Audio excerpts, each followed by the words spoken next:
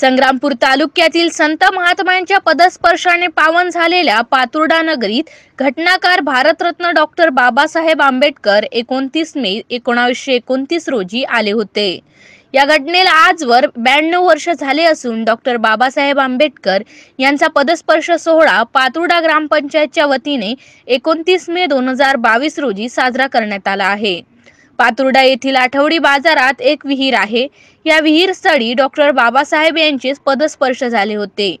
त्या ऐतिहासिक विहीर परिसरात पदस्पर्श स्मृती सोहळ्याचे आयोजन करण्यात आले आहे. कार्यक्रमाच्या अध्यक्षस्थानी नगरीचे लोकनियुक्त सरपंच शैलजा प्रकाशराव भोंगळ असून या कार्यक्रमात आमदार डॉक्टर संजय कुटे जिल्हाधिकारी श्री राममूर्ती मुख्य कार्यकारी अधिकारी भाग्यश्री विस्पुते समाज कल्याणचे आयुक्त डॉक्टर अनिता राठोड अतिरिक्त मुख्य कार्यकारी अधिकारी राजेश लोखंडे समाज कल्याण अधिकारी मनोज मेरत शिक्षणाधिकारी किशोर पागोरे उपविभागीय अधिकारी वैशाली देवकर तहसीलदार वरणगावकर गटविकास अधिकारी पाटील तामगाव पोलीस स्टेशन ठाणेदार उलेमाले साहेब यांची उपस्थिती आहे. सकाळी आठ वाजता ऐतिहासिक विहीर परिसरात भदंत ज्ञानज्योती महावीर आणि भिक्षू संघ संगारामगिरी व समस्य उपासक उपासिका संघ महाराष्ट्र यांच्या हस्ते धम्मदेशना कार्यक्रम घेण्यात आला.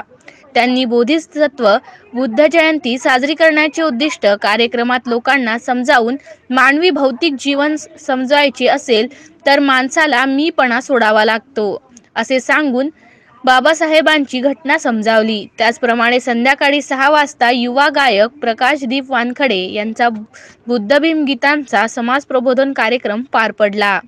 या कार्यक्रमास गावातील असंख्य नागरिक मोठ्या संख्येने उपस्थित होते. एन सी एन न्यूज करिता रवी शिरस्कार सह गोपाळ धर्माल पातुर्डा. हे भौतिक जीवन सजवणं आणि आध्यात्मिक जीवनाची सजावट करणं हेच मानवी मूल्याचं सौंदर्य होय. माणूस तो माणसाचा सर्वांगीण विकास व्हावा याचा असेल माणसातल्या सर्वांगीण कला गुणांचं जे विकसन व्हायचं असेल तर माणसाच्या आमूलाग्र स्वभावाला बदलणं ही मुळ आहेत जोपर्यंत माणूस आपल्या मूळ स्वभावाला बदलत नाही म्हणजे रागमूलक द्वेषमूलक मोहमूलक बुद्धिमूलक भयमूलक वितर्कमूलक स्वभावाची सारी माणसं. ही या सगळ्याच माणसांना ते कुठल्याही संप्रदायाचे कुठल्याही देशाचे असो ते दूषित चित्ताने काम करतात. रागरंजित द्वेष दूषित मोहमोहित होऊन काम करतात. आणि त्याचा कोणाचा रागमूलक स्वभाव देशमूलक स्वभाव मोहमूलक स्वभाव बुद्धिमूलक स्वभाव वितर्कमूलक स्वभाव भयमूलक स्वभाव आणि प्रत्येक व्यक्ती आपल्या स्वभावाचा बळी असतो. म्हणून तू तू मै मै तू तू तू मै प्रत्येक व्यक्ती उतरतं. मी माझं मी माझं. अर्थात हे शरीरही आपलं नसतं आणि मनही आपलं नसतं. आपल्या कब्जात काहीच नाही आहे काही हुकूमत चालत नाही आपली. हे शरीर ना अग्नी वायू जल आणि पृथ्वी धातूंचे अणू रेणू परमाणूंनी बनलेलं आहे. हे मन आहे ना हे डोळ्यांनी पाहणारं कानाने ऐकणारं नाकाने सुंगणारं जिभेने रस टाकणारं शरीराला स्पर्शाने कळणारं चिंतन मनन करणारे बाह्य मन आहे. हे अंतर्मन कुणालाच मानत नाही आपलं मन आपल्याला मानायला तयार नाही.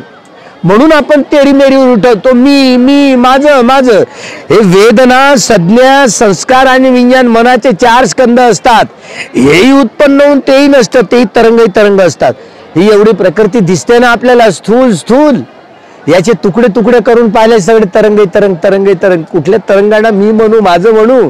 माझं शरीरच माझं नाही आहे अग्निवायू जला आणि पृथ्वी धातूंच्या अणुरेणू परमाणूंचा सारा प्रपंच आहे.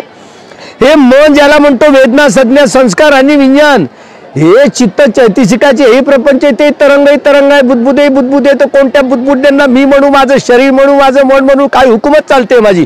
हे अनात्मा आहे.